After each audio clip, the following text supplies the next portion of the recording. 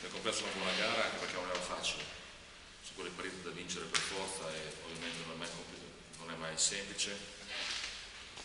Mm, tante cose positive, tante cose buone, forse dovevamo riuscire a dare uno schiaffo eh, definitivo un po' prima, dovevamo essere un po' più cinici, però nel complesso una partita da vincere così è stato, devo dire che, ripeto, eh, ad esempio quando gli ha subito 5-0, siamo, ci sono dei momenti in cui siamo un po' distratti, questo ovviamente non deve accadere. Eh, però nel complesso tante cose positive, tengo a precisare che Daniele ovviamente è la prima partita dopo l'infortunio e quindi è normale che sia un po' indietro.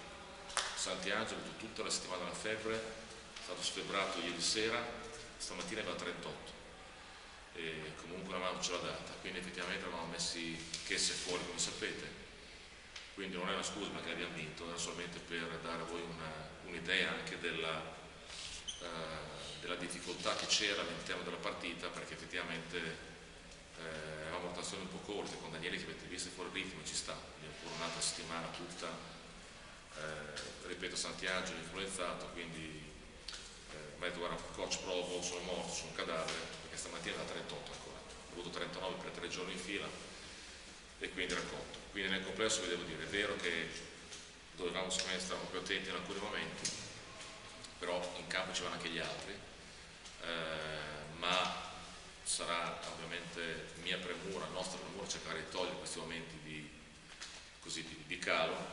Nel complesso devo dire che la squadra ha fatto una buona partita, con discrete percentuali. Da, da rivedere un po' forse i rimbalzi d'attacco loro concessi, ma nel complesso, ripeto, partita direi condotta abbastanza bene in porto. Prego. Eh, buonasera intanto. E, anche stasera il numero degli assist si attesta intorno ai 20, sono 19, che è una cifra che più o meno garantisce la Virtus la vittoria. In più c'è, oltre alla partita ovviamente di Muri Sims, le grandi prestazioni anche un po' silenziose di Saccaggi e di Alibegovic e la solita eh, ottima prova di, di Landi. Si è oramai trovata quasi una quadratura del cerchio? Sì, noi siamo più o meno questi, è chiaro che ovviamente in questo momento qua dobbiamo riuscire a, appunto, eh, a togliere, secondo me qualche allenatore non è mai contento, nel senso che il mio lavoro è quello di cercare di migliorarci ogni giorno, per cui devo cercare le cose che non vanno. Tu hai elencato tante cose positive e ti ringrazio, mi fa piacere, che fortunatamente c'è anche chi guarda le cose eh, fatte bene. Eh, però il mio lavoro è cercare di migliorare anche le cose che si possono migliorare. Una su tutte è quella appunto di concedere eh, meno rimbalzi d'attacco, una partita del genere, perché forse abbiamo permesso loro di stare in vita un po' di più.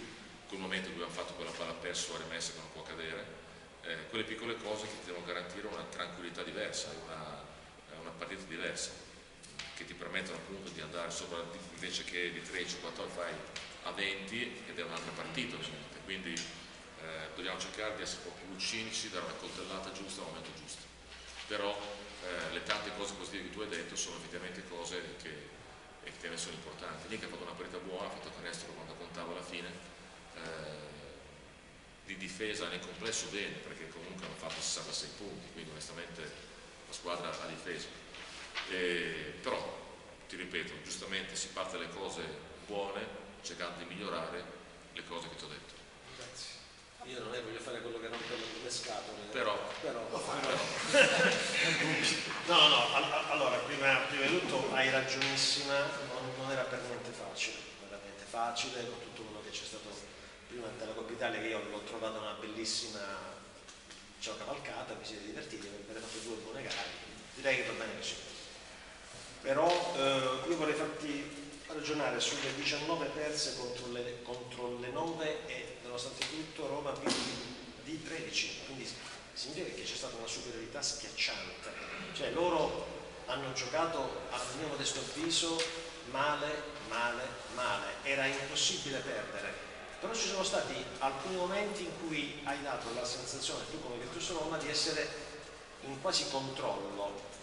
hai chiamato quei time out per, per, per, perché hai pensato, oddio, in, in, questo momento pure se siamo sopra di 8, siamo sopra di 10, è bene che tiro le briglie perché se ne potrebbero, ci sono state delle perse allucinanti, cioè quella sulla rimessa la, la, la, in uscita dal time out è stato incredibile, quindi una grande vittoria, però ritieni che questa squadra sia troppo sia troppo ancora un po' ferita dal punto di vista direi mentale, non riesce ancora a essere tanto serena perché oggi l'avversario ha fatto, chiedo scusa chiudo, ha fatto di tutto per farcela vincere.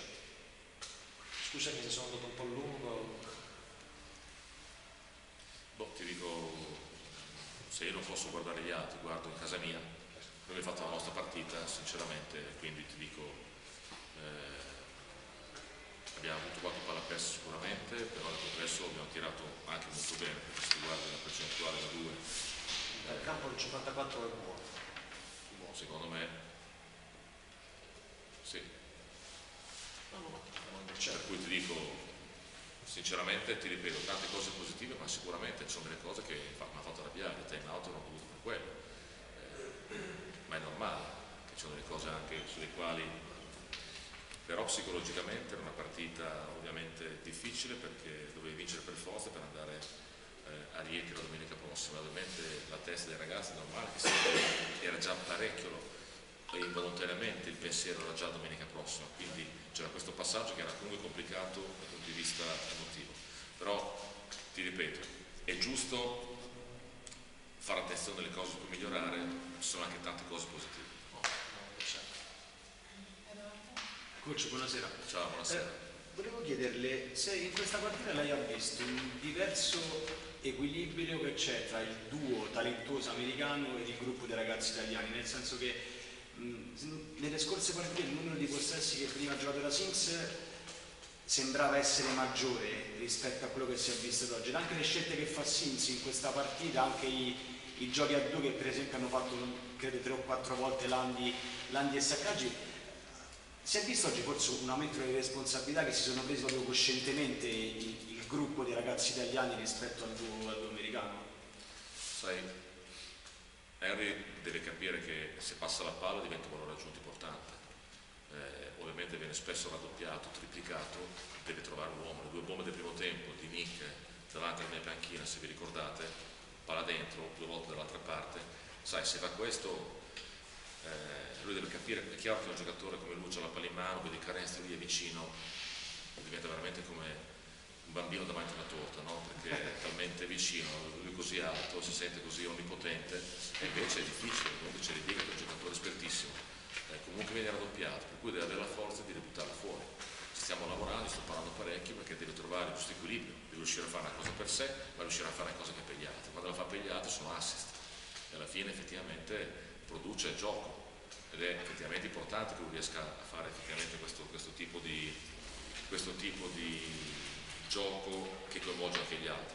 Ha preso meno tiri, la squadra ha giocato comunque in alcuni momenti anche bene, altri momenti meno, essere onesto, però ha fatto buone cose, per cui è importante che lui sia, sia coinvolto, ma anche che coinvolgere gli altri. Questa è la cosa importante. E vorrei aggiungere, se posso chiederle un commento su, sulla stagione di Baldasso perché per oggi fa una partita di, secondo me, di grandissima gestione all'interno della partita, vede, cerca sempre prima il passaggio piuttosto che il canestro e secondo me non, non è scontato venire da, da, da, un anno come quello precedente ad un tipo di anno come questo con pressioni e ambizioni chiaramente maggiori e giocare questo tipo di stagione. Guarda, quando sono arrivato qua a marzo, se vi ricordate, tutti imparavano di Baldasso come lupo cattivo,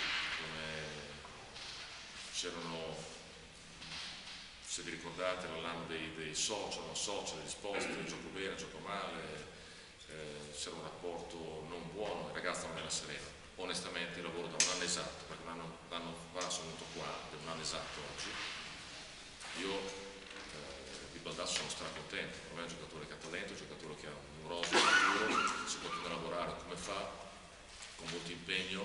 Ad esempio ieri è rimasto in palestra un'ora e mezza in più a tirare, ha fatto, ha fatto 600 tiri in più per, eh, eh, con, con, il mio assistente perché appunto vuole migliorare, perché vuole continuare ad andare avanti. Quindi quello che tu mi dici mi fa piacere, ma sono contento per lui, perché è un ragazzo che ha ambizioni giustamente, però sta crescendo, ha personalità, c'è tanto ancora da fare, però secondo me ha fatto un anno veramente molto buono. Io giudico quest'annata, ha fatto un anno veramente eccellente, sono molto contento. Prego. Non so parlare per la partita tutta partita perché a sei giornate dalla fine è inutile stare a cercare lo spettacolo, c'è una pressione, le squadre Bravo. sono tutte lì, chi se ne importa, scusami il francesismo. Eh, però volevo notare una cosa, eh, terzo quarto, a un certo punto Roma è andata avanti di 14, poteva andare di 16 ma è stato annullato un canestro in contropiede che sono stati dati due tiri liberi a, a Sandri e poi sono rientrati loro. In quel momento era molto stanca la squadra, quelli che erano sul partito a giudizio, Sims in primis. Infatti io perché non lo cambia? Ho detto chiamata la già, lo hai messo dentro. Hai riacquistato un po' di fiducia, a me sono concesso che tu l'abbia mai persa, però sei un po' più tranquillo adesso e sai che puoi fare posare un pochino di più Sims quando è proprio con la lingua di fuori, perché Ama entra in campo e fa quello che Piero Bucchi vuole da lui, bene o Sì, male. avrà fatto una buona partita e da bisogno di gioco, bene, perché ovviamente ha fatto partite molto altalenanti. Tanto il ragazzo ha de- ha delle qualità straordinarie, secondo me, ha un talento eccellente, deve riuscire appunto a gestirlo, perché eh, e non è facile anche andando fuori dal college andare a giocare in Europa, non è facile per nessuno. Dopo quattro anni che hai giocato là, effettivamente è un, altro mondo. Eh, detto questo è chiaro che Ama riesce a giocare e stare in campo mi aiuta molto perché ovviamente eh, mi aiuta nel che aiuta la squadra perché ovviamente può riposare, questo è ovvio, quindi poi considera che noi avevamo oggi, ripeto, Sandri e eh, Santiangelo onestamente non, non pervenuti, ma per Daniele più che giustificato, così come Marco. insomma. Daniele la prima partita eh, che ha fatto come se fosse il torneo di, di Piombino, hai capito? Cioè, eh, lui è estate quasi, capito? Nel senso che ha fatto la prestagione oggi. Però da domenica prossima spero che riesca a trovare quel ritmo di cui ha bisogno, è normale, prima partita dopo un mese e mezzo, come ho detto. E Marco stava veramente male, era veramente. Quindi che la squadra fosse in quel momento un po' stanca, ti dico la verità, non mi è sembrato. Henry forse, perché venne frullato ogni tanto, però alla fine quello tolto quando ha fatto un errore di troppo e è riposato. Senti, volevo sentire da te due parole su Pratini, che secondo me, al di là di quei dei numeri che ha fatto a livello di punti, perché spesso se ne parla soltanto quando si legge il marcatore, secondo me oggi lui ha veramente mandato la lingua di fuori eh, un giocatore che ha vinto anche un Euro Challenge con Bologna, ha giocato con giocatori che adesso fanno l'Eurolega, che è il prete di Zara. Sì, Momo è un giocatore di grandissima energia, un giocatore generoso, un giocatore che ha grande eh, spirito di sacrificio, eh, votato veramente alla causa. E per cui sono molto contento del suo arrivo. Domenica prossima vi anticipo che se Massimo sarà recuperato, ovviamente ci sarà un turnover, perché ovviamente uno uno dovrà stare fuori, quindi si vedrà in settimana quale sarà il giocatore che è più eh, magari eh, è giusto che rimanga fuori pur con la morte nel cuore perché ovviamente li vorrei portare tutti, ovviamente, perché tutti questi ragazzi qua meritano di stare in campo. Però questo è il regolamento, abbiamo fatta di 10, dobbiamo ovviamente fare la scelta. Prego, ciao. Allora, la prossima è Rieti e mi ricordo che all'andata Rieti ci ha eh, un po' imbrogliato le carte per l'energia che ha messo in campo, Bobby Jones, la maestria, il botte, quello che abbiamo visto qui. Che energia, quale energia va a portare Roma a Rieti nella prossima? Ma secondo me sai, i ragazzi sanno dell'importanza della partita, quindi sono convinto che verrà fuori una- partita sicuramente intensa e di energia, perché se no non possiamo prescindere da questo, assolutamente. Quindi bisogna che i ragazzi lo sanno. Domenica sarà da preparare dal punto di vista emotivo una partita molto semplice, non è che dovrò raccontare tanto, tanto normale che è una gara, gara importante, siamo, arriveremo sicuramente consapevoli che è una gara dove bisogna mettere dentro tutto, poi vediamo se chi la vince, però di sicuro sarà una gara dove la squadra ha idea di cosa andiamo a fare.